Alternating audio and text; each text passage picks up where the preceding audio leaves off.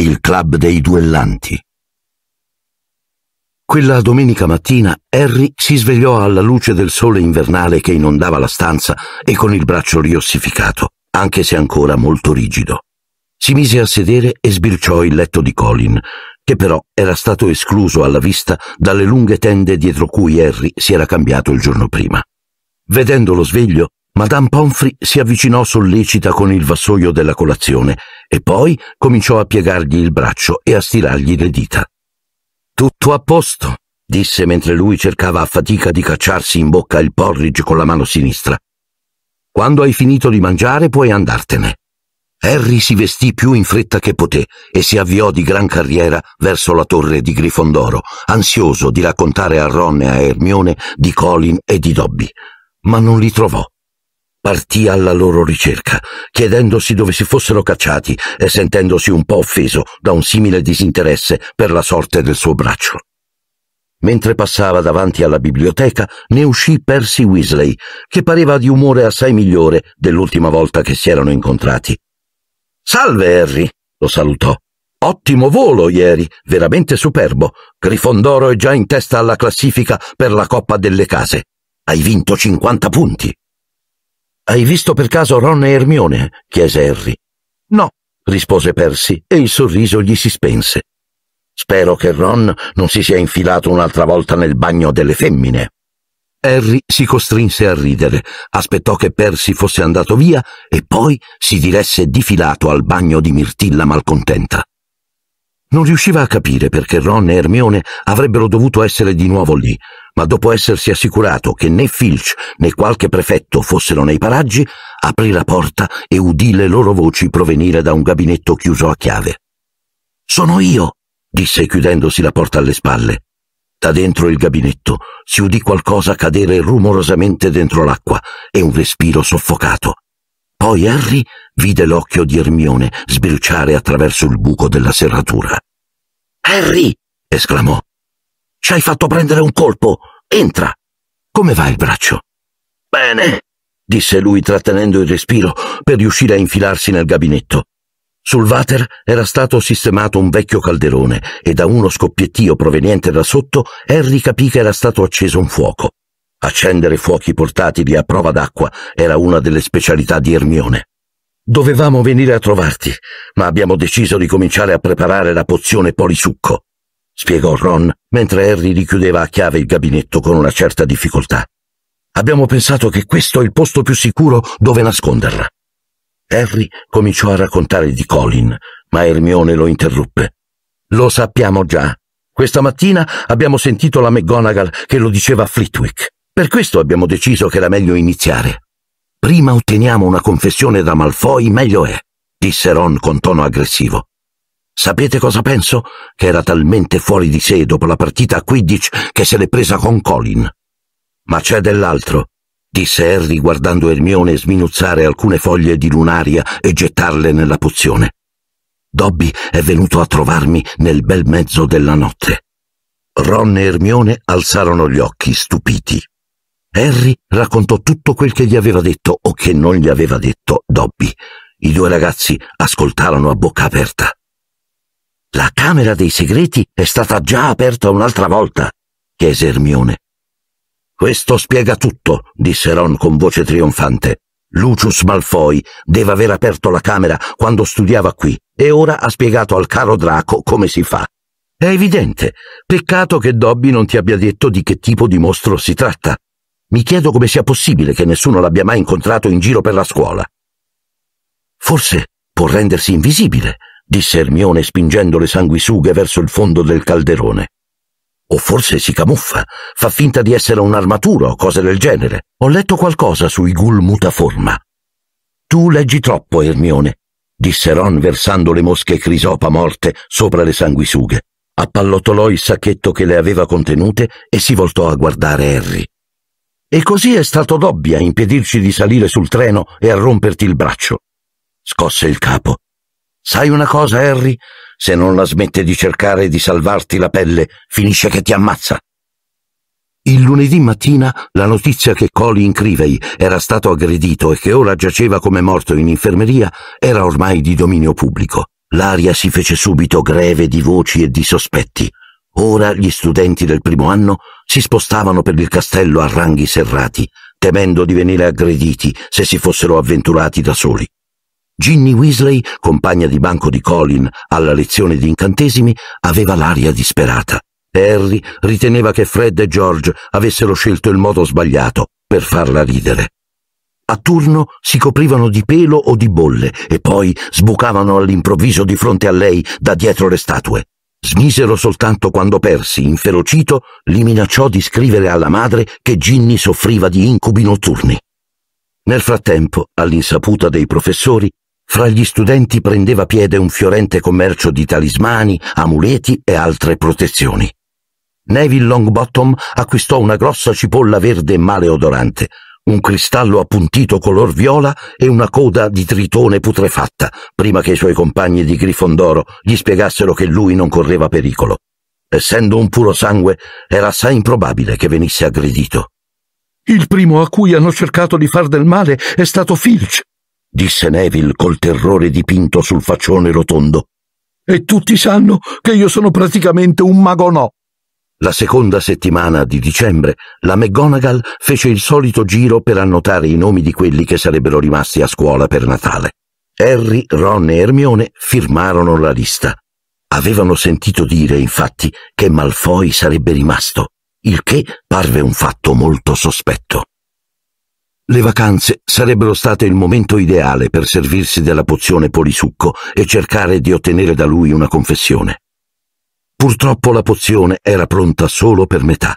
Mancavano ancora il corno di bicorno e la pelle di girilacco, e l'unico posto dove reperirli era la dispensa privata di Piton. Personalmente, Harry avrebbe preferito affrontare il leggendario mostro di Serpe Verde piuttosto che essere scoperto da Piton a rubare nel suo ufficio.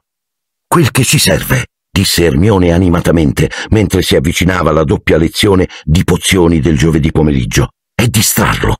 A quel punto uno di noi sgattaiola nel suo ufficio e prende gli ingredienti. Harry e Ron la guardarono nervosi. È meglio che mi occupi io del furto vero e proprio, continuò Hermione in tono pratico. Se vi cacciate in qualche altro guaio, voi due rischiate di venire espulsi. Io invece ho la fedina pulita. Allora, quel che dovete fare voi è semplicemente creare abbastanza confusione da tenere occupato Piton più o meno per cinque minuti. Harry sorrise debolmente.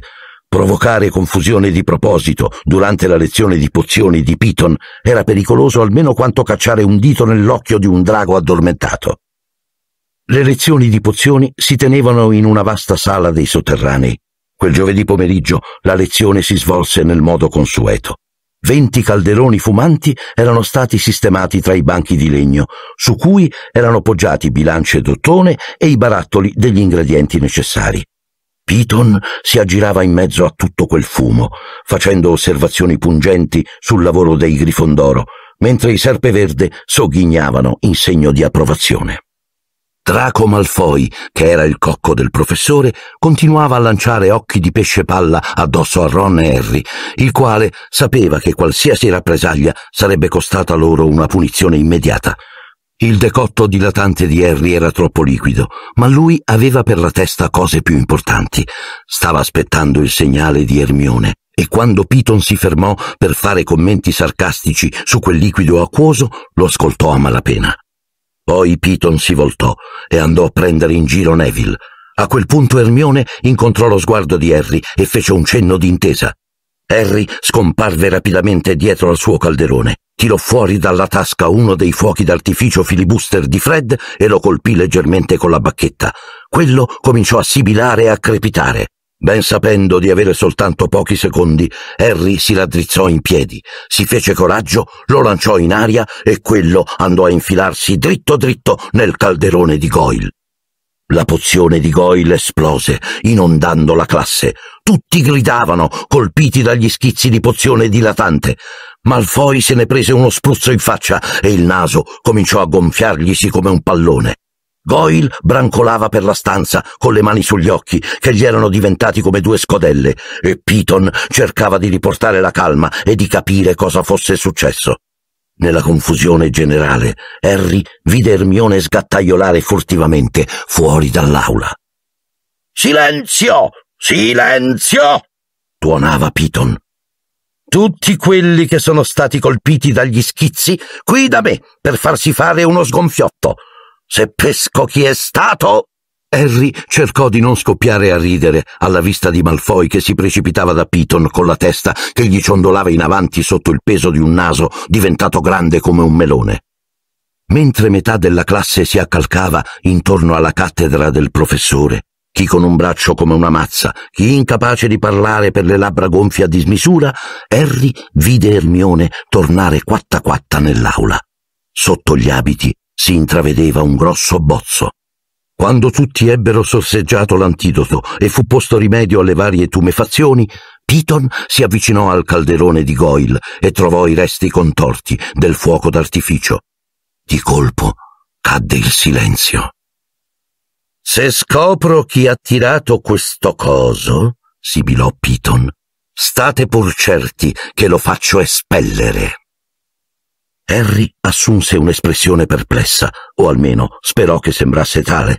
Piton lo stava fissando dritto negli occhi e il suono della campanella che arrivò dieci secondi dopo non giunse mai tanto a proposito.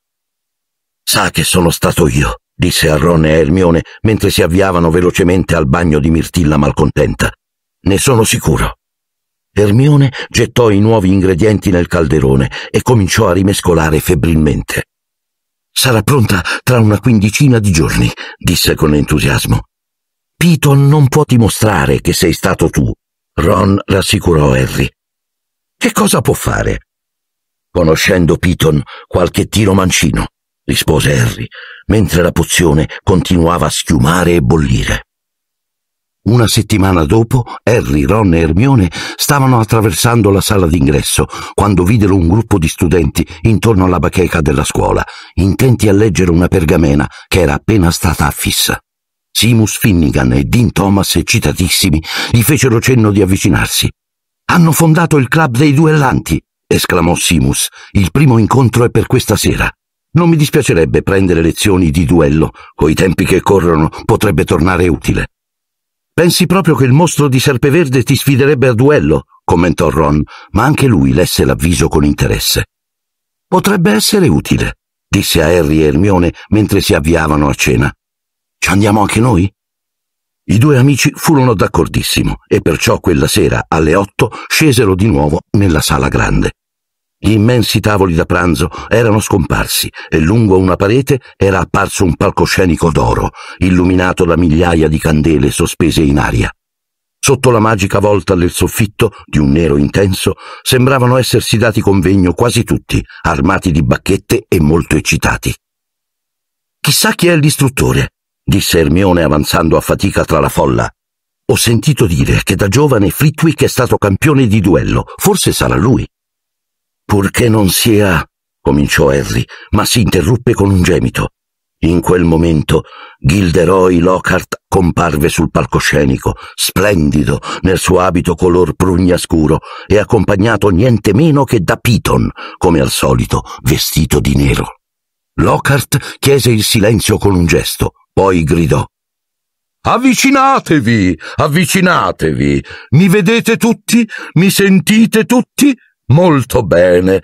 Il professor Silente mi ha dato il permesso di fondare questo piccolo club dei duellanti perché possiate allenarvi. Nel caso doveste avere bisogno di difendervi, come è capitato a me innumerevoli volte. Per ulteriori particolari si vedano i lavori da me pubblicati. Permettete che vi presenti il mio assistente, il professor Piton. Continuò Lockhart con un largo sorriso stampato in faccia.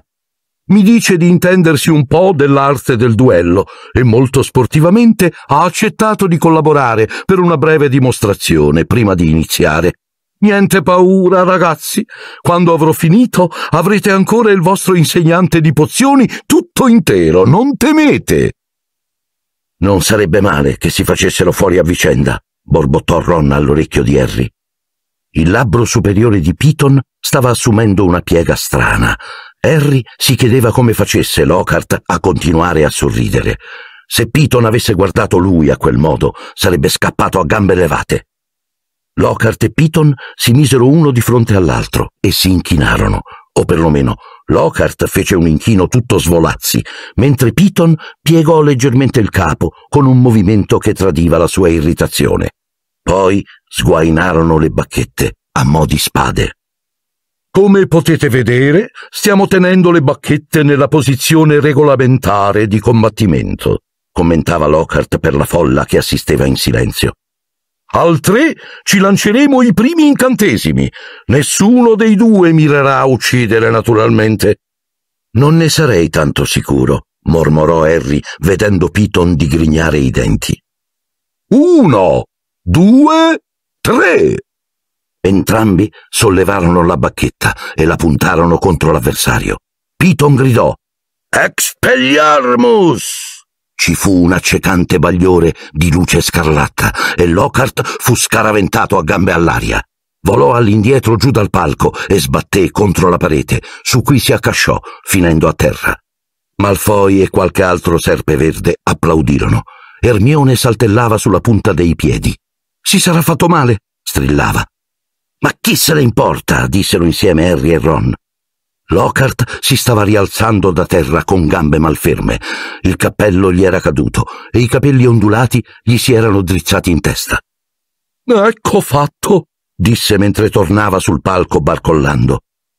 Questo era un incantesimo di disarmo. Come potete vedere, ho perso la bacchetta di mano. Ah, grazie, signorina Brown. Sì, ottima idea davvero mostrargli questo, professor Piton, ma non se la prenda se le dico che le sue intenzioni erano molto evidenti. Avrei potuto fermarla in qualsiasi momento, ma ho pensato che fosse più istruttivo che i ragazzi vedessero. Piton aveva uno sguardo omicida.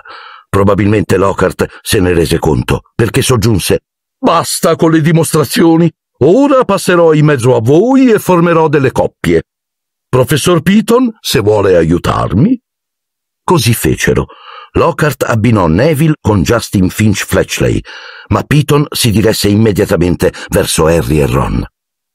Credo sia ora di separare la squadra del cuore, disse con tono maligno. Weasley, tu starai con Finnegan. Quanto a Potter? Harry si mosse automaticamente verso Hermione. No, non penso proprio disse Piton con un sorriso glaciale. Vieni qui, signor Malfoy. Vediamo come te la cavi con il famoso Potter. Signorina Granger, tu puoi andare con la signorina Balstrode. Malfoy si fece largo tra i compagni, con un sorriso beffardo stampato sul viso, seguito da una ragazza di serpeverde che ricordò a Harry un'illustrazione del libro Footing con la fattucchiera. Era grossa e tarchiata, con l'aria aggressiva. Ermione le rivolse un debole sorriso che lei non ricambiò. Tutti uno di fronte all'altro, gridò Lockhart che era risalito sul palco. E inchinatevi. Harry e Malfoy chinarono a malapena la testa, senza staccarsi gli occhi di dosso. Bacchette in posizione! gridò Lockhart. Al mio tre Lanciate l'incantesimo di disarmo al vostro avversario, soltanto per disarmarlo, naturalmente. Non vogliamo incidenti. Uno, due, tre. Harry sollevò la bacchetta, ma Malfoy aveva cominciato al due. Il suo incantesimo colpì Harry con inaudita violenza, come una formidabile padellata in testa. Il ragazzo barcollò ma poiché non sembrava fosse accaduto niente, senza perdere altro tempo, puntò la sua bacchetta contro Malfoy, gridando Rictus Empra! Un fascio di luce argentata colpì allo stomaco Malfoy, che si piegò in due con un gemito. Ho detto di disarmare soltanto! gridò Lockhart allarmato, sovrastando gli sfidanti, mentre Malfoy cadeva in ginocchio. Harry lo aveva colpito con un incantesimo di solletico e Malfoy, preso da un convulso di risa, poteva muoversi a stento. Harry si ritirò, con la vaga sensazione che sarebbe stato poco sportivo scagliare un sortilegio a Malfoy mentre era a terra, ma fu un errore. Riprendendo fiato, quello puntò la sua bacchetta sulle ginocchia di Harry e gridò Tarantallegra! Un attimo dopo, le gambe di Harry avevano preso ad agitarsi senza controllo, in una specie di forsennata tarantella. Ferma! Ferma! gridava Lockhart, ma Piton prese in mano la situazione. Finite incantatem! gridò. I piedi di Harry smisero di danzare, Malfoy smise di ridere, ed entrambi furono in grado di alzare lo sguardo. Una cortina di fumo verdastro aleggiava sulla scena. Neville e Justin giacevano a terra, ansimanti. Ron stava aiutando Simus, pallido come un cencio, a rialzarsi, scusandosi per quel che la sua bacchetta rotta aveva provocato. Ma Hermione e Millicent Balstrode combattevano ancora. Millicent aveva afferrato per la testa Hermione che strillava, ma le loro bacchette giacevano a terra dimenticate. Harry fece un balzo in avanti e allontanò Millicent, anche se con difficoltà, perché la ragazza era molto più corpulenta di lui. Oh santo cielo!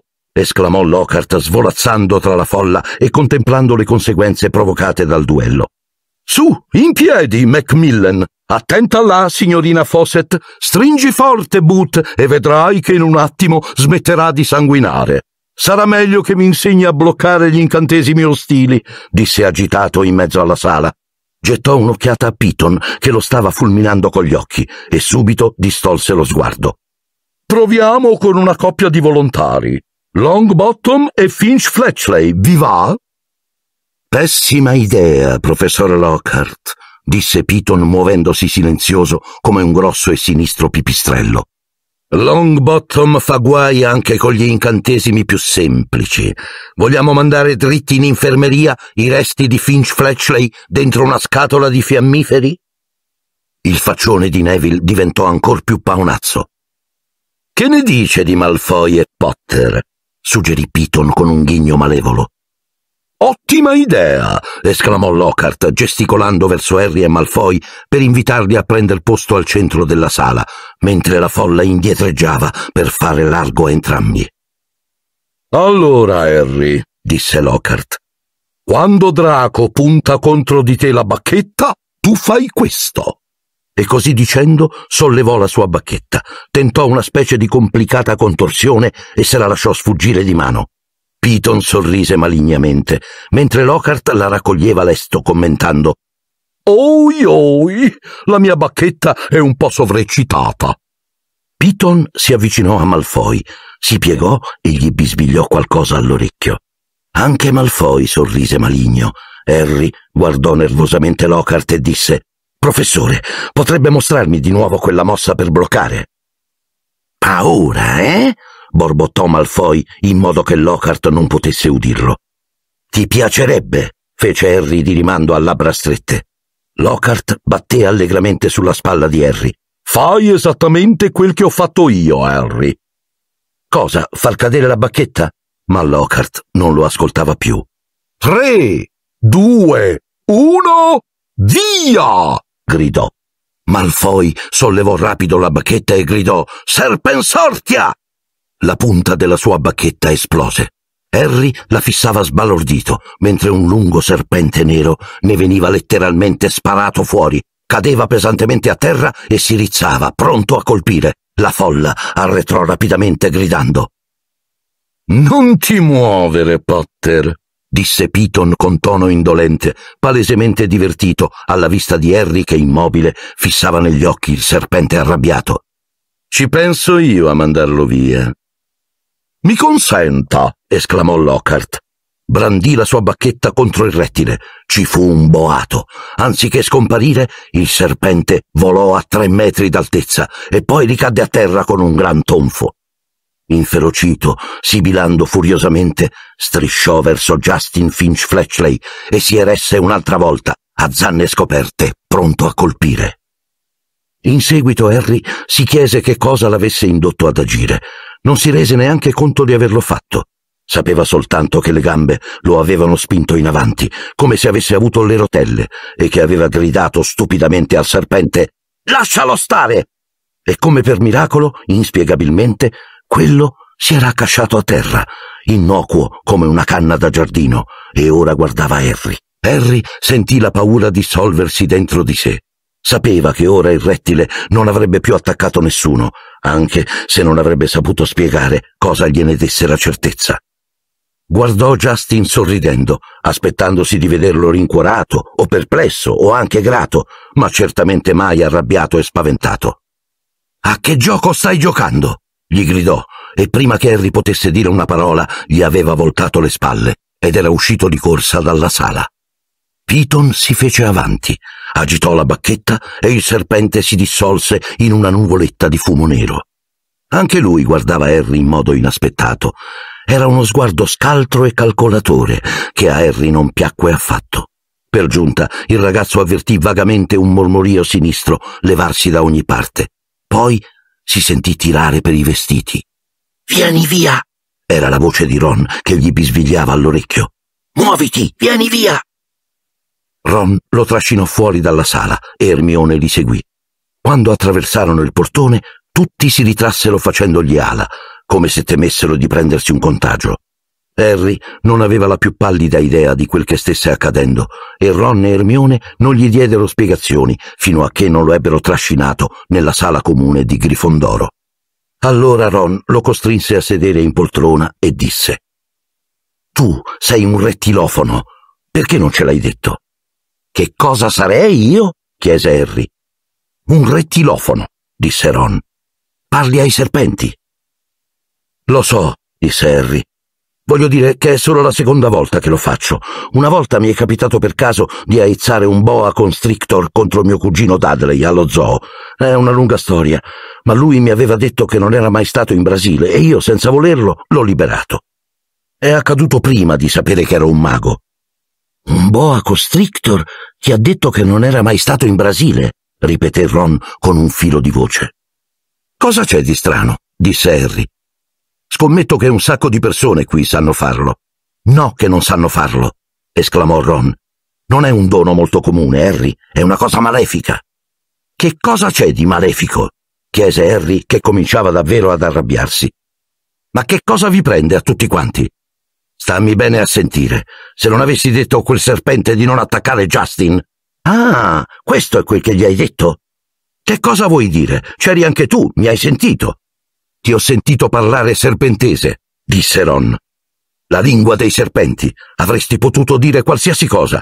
Non c'è da stupirsi che Justin si sia spaventato. Sembrava che tu stessi aizzando il serpente o qualcosa di simile, roba da far venire i brividi, lo sai? Harry lo guardò. Io parlavo un'altra lingua. Ma non me ne sono accorto. Come faccio a parlare una lingua senza sapere di conoscerla? Ron scosse la testa. Sia lui che Ermione avevano una faccia da funerale. Harry non riusciva a capire che cosa ci fosse di tanto terribile. Mi volete spiegare che cosa c'è di male nell'impedire che un maledetto serpente gigantesco stacchi la testa a Justin? chiese. Che cosa conta in che modo l'ho fatto? Visto che a Justin è stato risparmiato l'ingresso nella schiera dei cavalieri senza testa. Conta e come, disse Ermione, prendendo finalmente la parola con voce strozzata. Perché la capacità di parlare ai serpenti era la cosa per cui era famoso Salazar Serpeverde. Per questo il simbolo della sua casa è un serpente. Harry restò a bocca aperta. Proprio così, confermò Ron. E ora tutta la scuola penserà che tu sei il suo pro, pro, pro, pronipote o qualcosa del genere. Ma non è vero, disse Harry preso da un panico che non riusciva a spiegarsi. Non ti sarà facile dimostrarlo, disse Ermione. Lui è vissuto circa mille anni fa. Per quanto ne sappiamo, potresti benissimo esserlo. Quella notte Harry rimase sveglio per ore. Da uno spiraglio delle cortine del suo letto a baldacchino rimase a guardare la neve che cominciava a fioccare davanti alla finestra della torre e rimuginava tra sé. Poteva davvero essere un discendente di Salazar Serpeverde? Dopotutto, lui non sapeva niente della famiglia di suo padre. I Darsley gli avevano sempre proibito di fare domande sui suoi antenati maghi. A bassa voce cercò di dire qualcosa in serpentese, ma le parole non gli venivano perché ciò accadesse sembrava che dovesse trovarsi faccia a faccia con un rettile. Ma io sono nella casa di Grifondoro, pensò. Se avessi il sangue di Serpeverde nelle vene, il cappello parlante non mi avrebbe messo qui. Ah! esclamò una fastidiosa vocina dentro di lui. Ma il cappello parlante voleva metterti tra i serpeverde, non ti ricordi? Harry si voltò dall'altra parte. Il giorno dopo avrebbe visto Justin alla lezione di erbologia e gli avrebbe spiegato che aveva richiamato il serpente, non il contrario. Ma qualsiasi stupido l'avrebbe capito, pensò prendendo furiosamente a pugni il cuscino.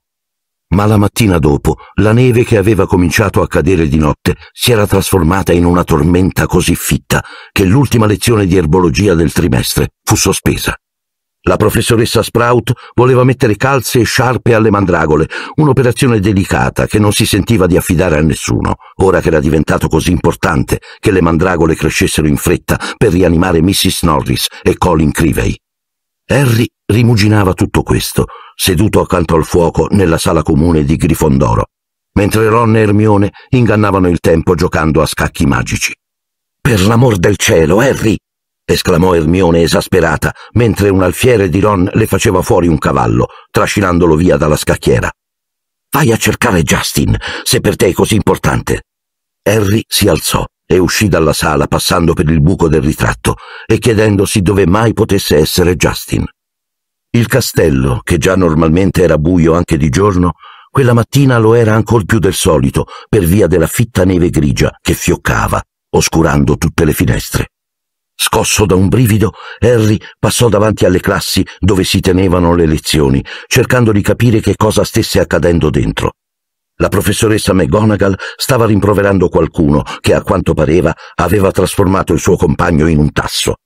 Resistendo all'impulso di entrare a dare un'occhiata, Harry passò oltre, pensando che forse Justin aveva deciso di sfruttare l'ora libera per portarsi avanti con i compiti per l'indomani e decise di andare a vedere prima in biblioteca.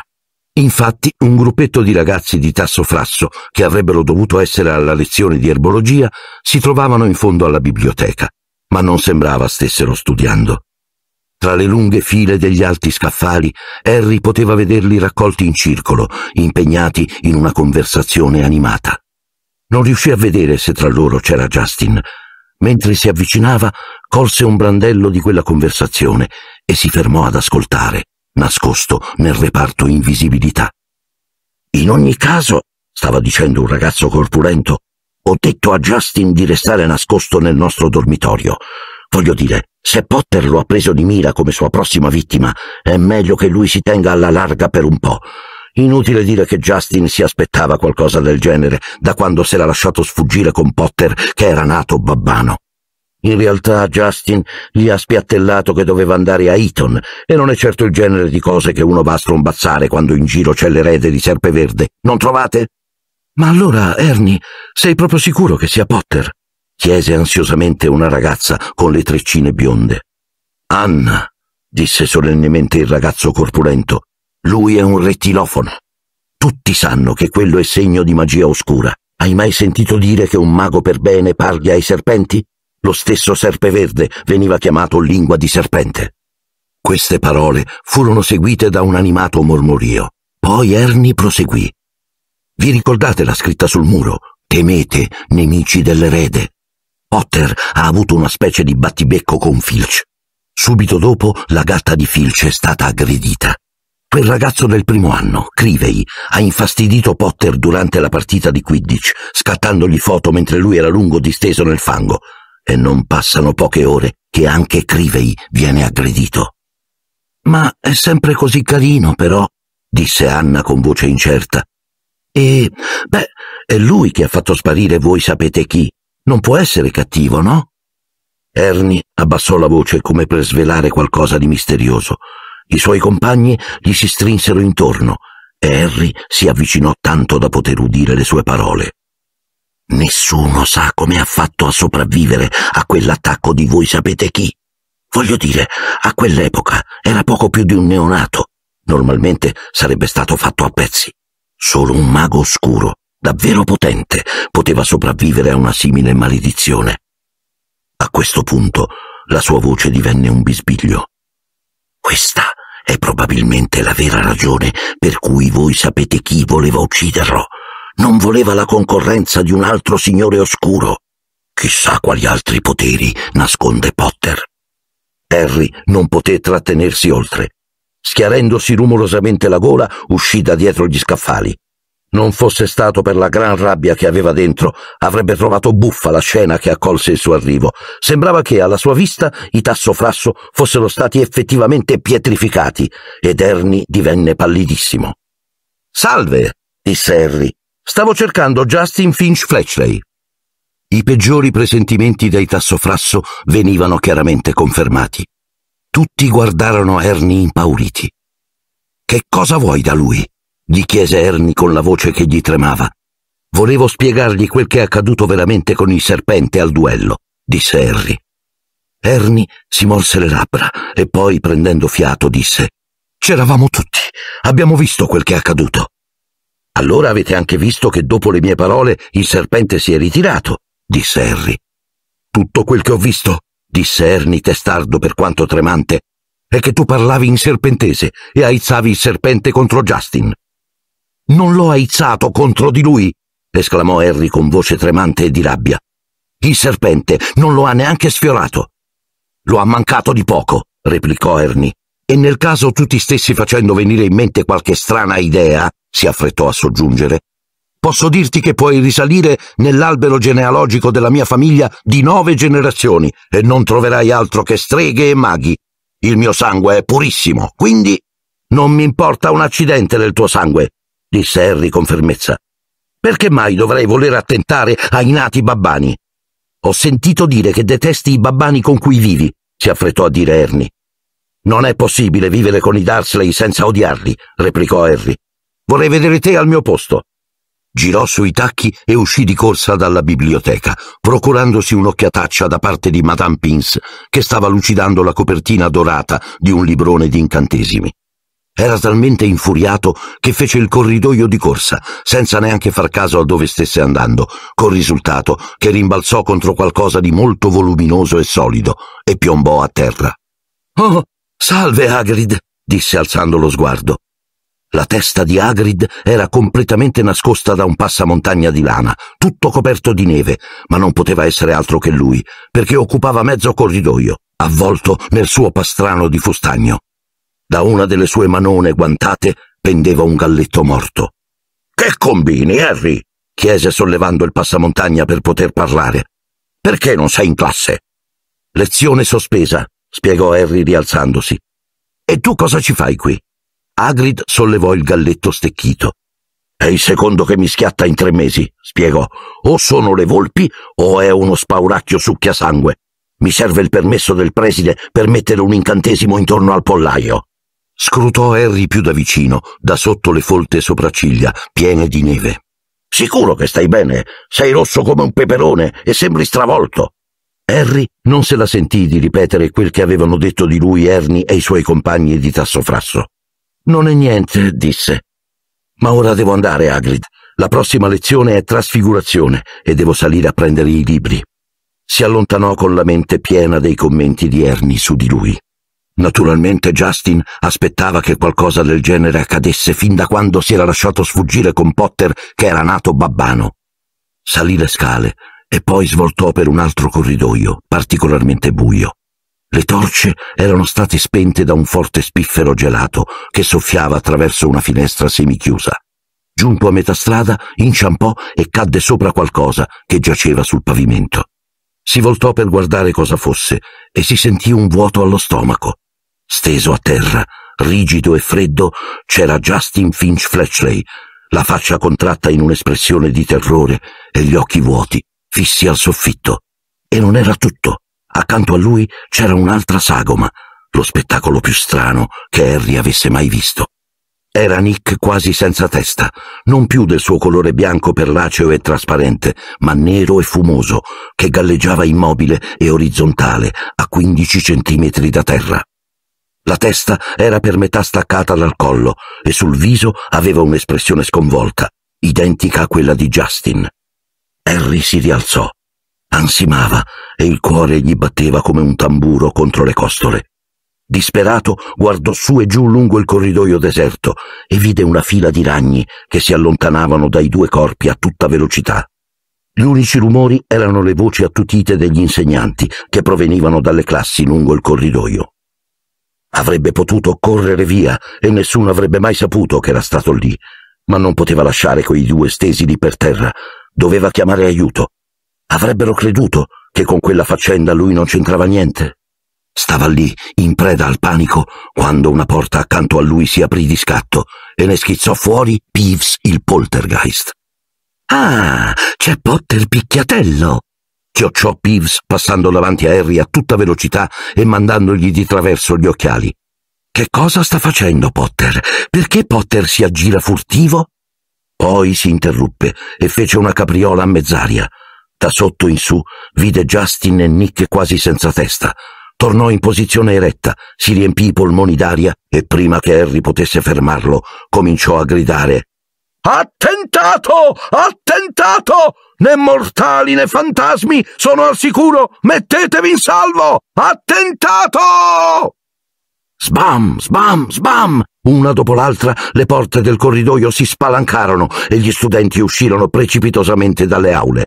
Per alcuni lunghi minuti regnò una tale confusione che Justin corse il pericolo di venire schiacciato e nessuno si accorse di calpestare lo spazio incorporeo di Nick quasi senza testa. Harry si trovò schiacciato contro la parete, mentre gli insegnanti chiedevano a gran voce di fare silenzio. La professoressa McGonagall sopraggiunse di corsa, seguita dai suoi allievi, uno dei quali aveva ancora i capelli a strisce bianche e nere. Fece scoppiare un forte colpo dalla bacchetta, ripristinando il silenzio, quindi ordinò a tutti di rientrare in classe. Era appena tornato un po' d'ordine quando il tasso frasso Ernie arrivò sulla scena col fiatone. Colto sul fatto! Gridò con il viso bianco come uno straccio lavato e puntando il dito contro Harry con gesto drammatico. Basta così, Macmillan! intimò secca la McGonagall. Ora Peeves svolazzava per aria, con un sorriso malevolo, osservando la scena. A Peeves era sempre piaciuta la confusione. Quando gli insegnanti si chinarono su Justin e su Nick quasi senza testa per esaminarli, intonò la canzoncina. È Potter canaglia che infuria e si scaglia, che uccide studenti e ride tra i denti. Smettila, Peeves! tuonò la McGonagall e lui piroettò facendo una linguaccia a Harry. Justin fu portato in infermeria dal professor Flitwick e dalla professoressa sinistra del Dipartimento di Astronomia, ma per Nick quasi senza testa sembrava che nessuno sapesse cosa fare. Alla fine la McGonagall fece apparire dall'aria un grosso ventaglio che consegnò a Ernie con l'incarico di sventolare Nick quasi senza testa e di sospingerlo su per le scale. E così fece Ernie, sventolando Nick lungo il tragitto come un nuvolone nero. A quel punto Harry e la professoressa McGonagall rimasero soli. Da questa parte, Potter, fece lei. Professoressa, disse subito Harry, io le giuro che non... non è una questione di mia competenza, Potter, tagliò corto la McGonagall. Camminarono in silenzio, girarono un angolo e si fermarono davanti a un orribile immenso gargoyle di pietra. Fritz Lemon, disse lei. Evidentemente era una parola d'ordine, perché tutto a un tratto il gargoyle prese vita e fece un balzo di lato, mentre la parete dietro di esso si apriva. Quantunque molto spaventato per quel che sarebbe successo, Harry non riuscì a trattenere lo stupore. Dietro la parete c'era una scala a chiocciola che si muoveva dolcemente verso l'alto, come una scala mobile. Vi salì insieme alla McGonagall e a quel punto udì il tonfo della parete che si richiudeva alle loro spalle. Salirono a spirale, su, su, sempre più in alto, fino a che Harry, leggermente stordito, vide davanti a sé una porta di quercia lucente con un batacchio di rame a forma di grifone. Sapeva dove lo stavano portando. Quello doveva essere il luogo in cui viveva Silente.